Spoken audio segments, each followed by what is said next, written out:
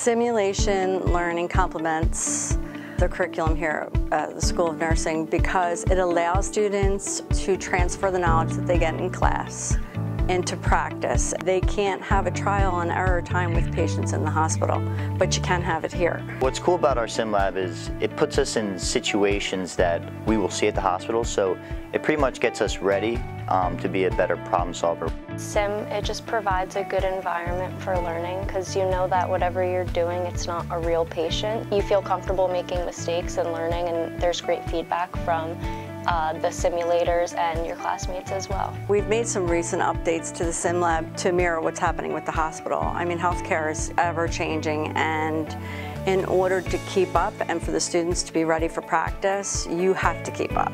We've looked into virtual reality and we are now using immersive virtual reality settings in order to get students to be more interactive with the learning. The technology really helps us because it puts us a step ahead. So before we even step into the hospital, we're using technology that we're going to use in the hospitals. Simulation is being used more and more.